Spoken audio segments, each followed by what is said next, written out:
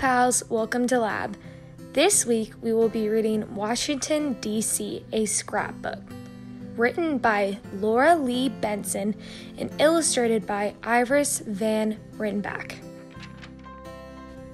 Hi, my name is Danny, and these are my friends Curtis, Sunyi, and Amanda. This is our scrapbook of a class trip we took to Washington, D.C. We took the Amtrak train from Philadelphia. Fun fact DC stands for District of Columbia. It was named in honor of Christopher Columbus. When our train arrived in the city, it pulled into a place called Union Station. It is a train station, a subway station, and a mall all in one. Here are some things we got at the souvenir shops. Union Station was built in 1907 to accommodate inaugural crowds coming to Washington. Some people think it is one of the most beautiful train stations in the world. After dropping our luggage off at the hotel, we were ready to see our first sight. We boarded the metro, the subway system that people in Washington use to get around the city. The Metro subway system is made up of five color coded lines that run through Washington, Maryland, and Virginia. This is one of my Metro fare cards. Fun fact the deepest metro station has an escalator that is 230 feet high. That is about 10 times higher than the average two story house. Our first stop was the White House. This is where the President of the United States lives. It is also where some of the most important issues in the world are discussed by the President, the President's staff, and foreign dignitaries. These talks take place in the East Room. The White House was designed by an architect named James Hoban, who won a contest with his design. It took eight years from 1792 to 1800 to build it. The White House has 132 rooms. That's about 16 times as many rooms as an average house. Fun fact George Washington was the only president who never got to live in the White House. His term as president was over before the White House was finished being built. You can see a picture of the White House on the back of a $20 bill.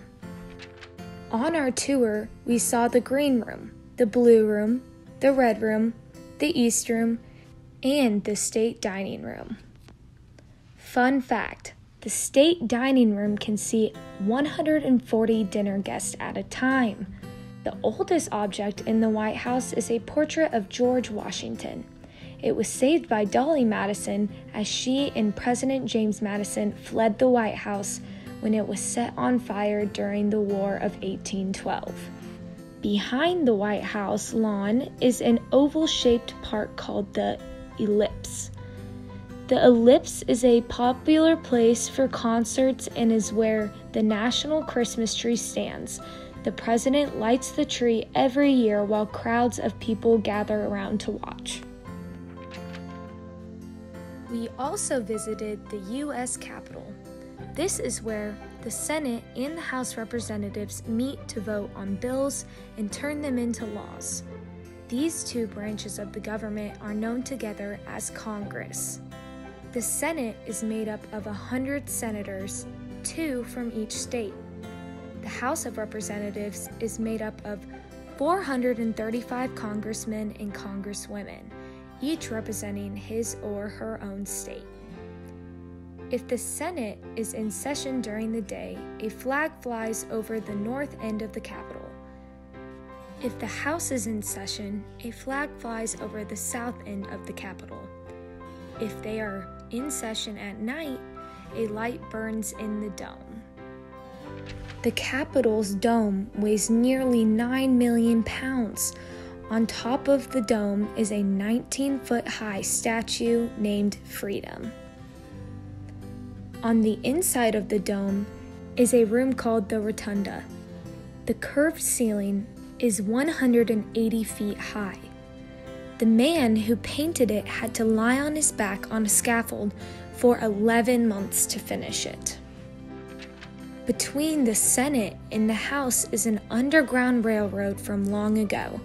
Today, it is used as a walkway between the two wings of the Capitol. Fun fact the Capitol was used to house soldiers during the Civil War. The rooms were turned into living quarters in an emergency hospital. Next, we went to the Bureau of Engraving and Printing.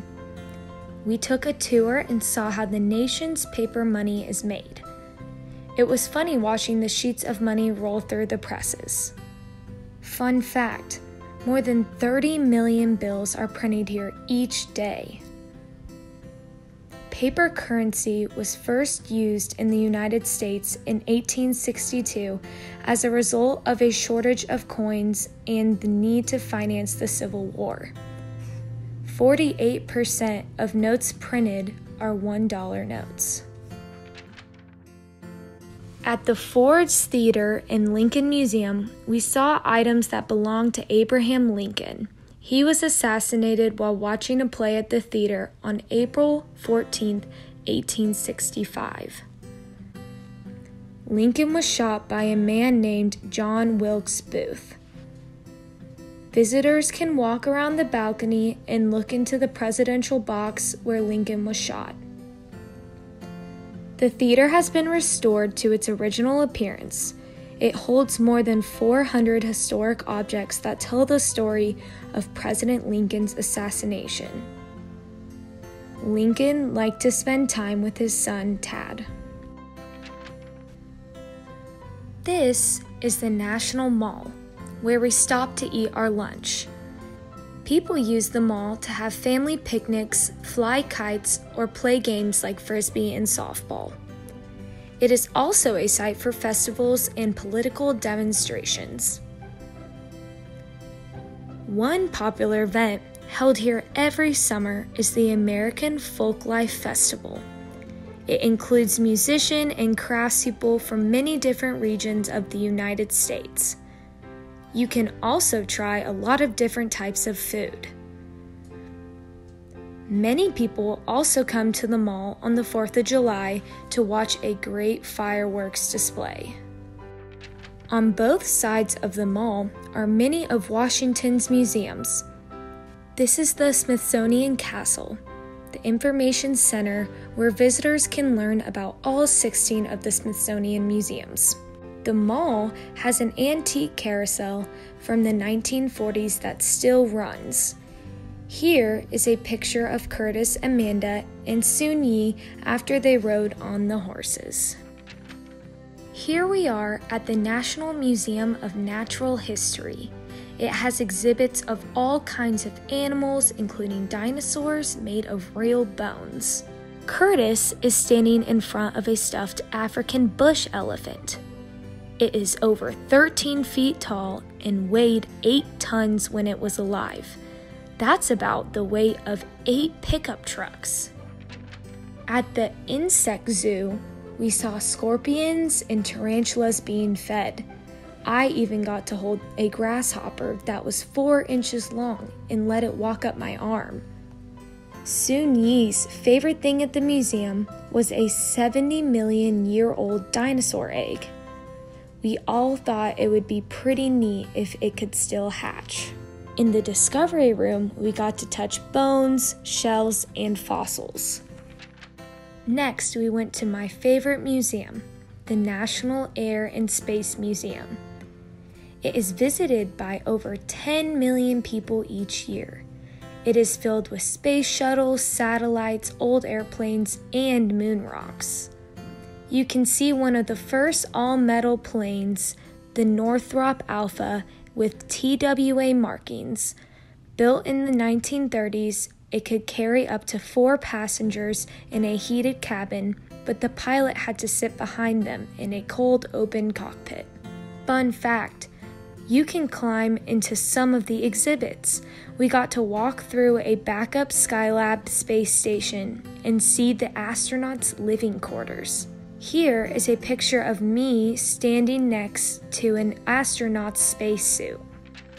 We also got to look through a model of the Hubble Space Telescope and see a duplicate of the Apollo 11 command module. There is a special theater called IMAX that is five stories high. When you watch the movie, you feel like you're in them. We saw a planetarium show where we learned about constellations. Here is a wrapper from the package of a freeze dried astronaut food that I bought in the gift shop. Yum! Washington has many art museums. This is the National Gallery of Art. It has one of the most important collections of artwork in the world. Some pictures are so valuable that you can only see them by making an appointment first. The National Gallery of Art has two buildings the West Building and the East Building. The West Building contains older artwork by world famous artists like Leonardo da Vinci and Claude Monet. The East Building contains modern art by artists like M.C. Escher and Alexander Calder. Fun fact in between the two buildings is a moving walkway in an underground tunnel. As you move along the walkway, you can see glassed in waterfall that is actually the underside of an outdoor fountain. On the next part of our trip, we visited some famous landmarks. This is the Washington Monument, the highest monument in the city. It is 555 feet high. At the base of the Washington Monument are 50 American flags, one for each state. It is the highest masonry structure in the world. Inside, there is a winding staircase with 897 steps. For safety reasons, visitors must use the elevator to get to the top. We rode to the top and could see the whole city down below. Fun fact the base of the monument is a slightly different color than the rest of it. That is because the builders ran out of money during the construction. When they had enough money to finish it, the stone available was a different shade.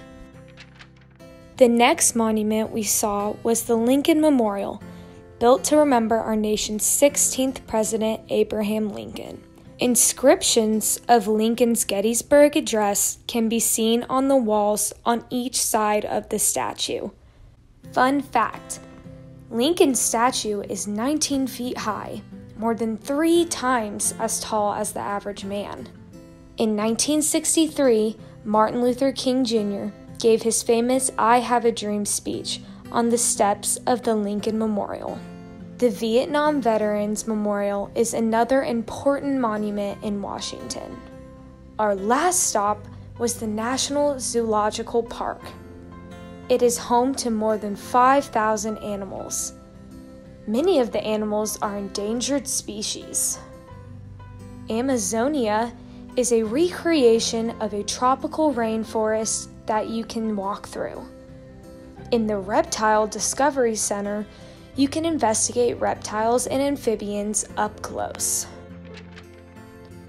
At the think tank, visitors can communicate with orangutans and gorillas through a computer. The O line is a cable system in the park that lets orangutans travel freely between buildings. You can see orangutans right above your head. One of the zoo's most popular animals is Xing Xing, the panda. He was given as a gift to America's children by the People's Republic of China in 1972. Thanks for reading Washington, D.C., a scrapbook with me. Hope you had as much fun as I did.